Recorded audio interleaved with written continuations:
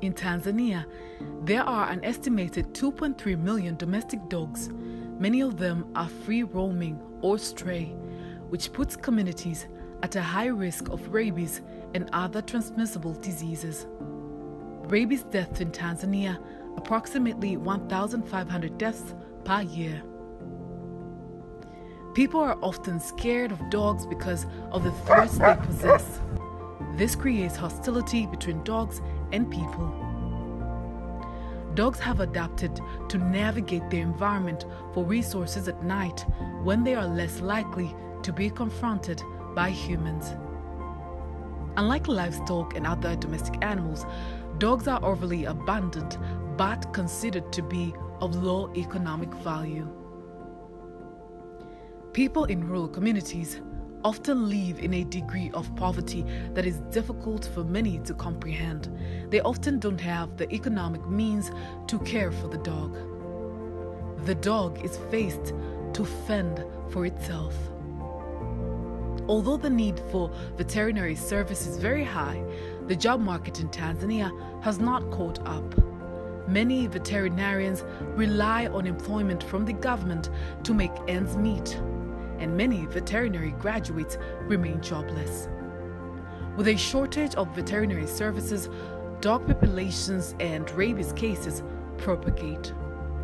Instead of investing in access to veterinary care, governments have resorted to inhumane shooting and poisoning of dogs to control the problem. Unfortunately, this extreme tactic has proven to be ineffective. In the community of Kibaigwa, a woman presents her dog for basic veterinary services. For her, it is personal. She loves her dog and wants to ensure her dog is protected against preventable diseases, including rabies. She also misses her three children. She lost the three of them to rabies. Unaware of the consequences, the treatments were delayed.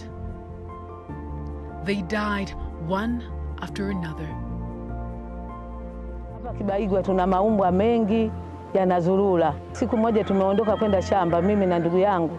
Tunaporudi tukakuta watoto watatu wote wana majeraha ya umbwa, ni makubwa. Baada ya kuwa na majeraha ya umbwa, tukawabeba tukawapeleka hospitali. Kwenda hospitali wakasema dawa hawana, kwa hiyo tunawarufaa mwende Dodoma, ndio kuna dawa za umbwa.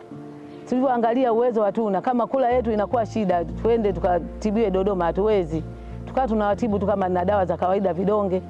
Baada ya siku chache watoto wakaanza kufanya bwa bwa, ha mwingine wamezidiwa, kafa wa kwanza, wa pili mpaka watatu, wote watoto wale wakawa wamekufa na umbwa. Jamani, umbwa wametuletea shida hapa kwetu Kibaigwa, tuna shida ya maumbwa. It doesn't have to be this way.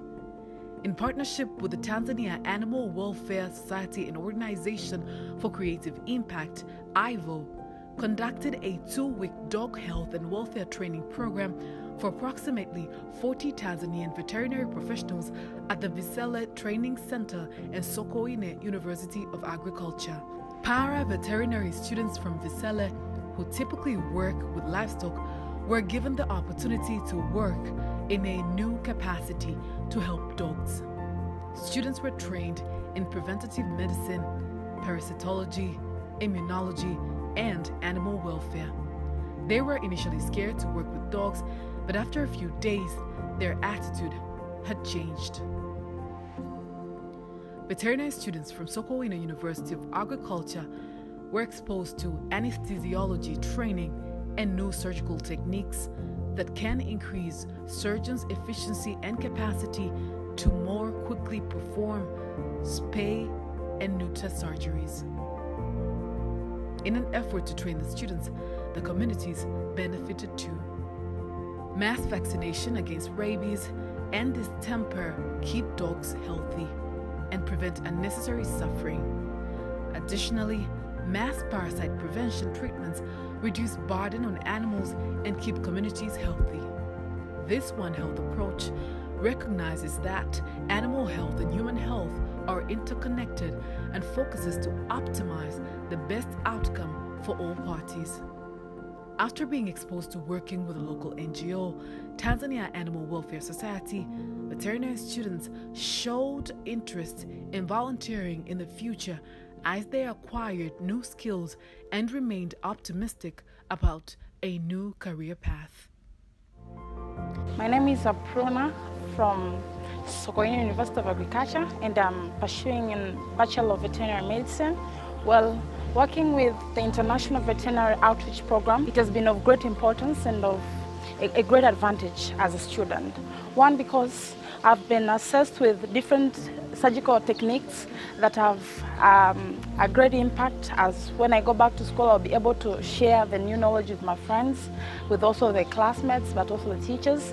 I'm also glad that through this organization and program we have been able to, um, to see new instruments that are used in surgical operations. We've known well on how to assess uh, the physical examination for animals providing vaccination to different animals, but also we've been able to treat different conditions that have succumbed with the animals at Kibaigwa. My name is Dr. Thomas Kahema, the Executive Director of Tanzania Animal Welfare Society. We have um, uh, this dog welfare program in the central Tanzania. This program was started with uh, Sokoine University of Agriculture with uh, final students. And uh, uh, they are here with us and we are gaining more knowledge on the modern techniques of um, sterilizations. And we think with the support from IVO, I think we can reach more areas. The demand is very high.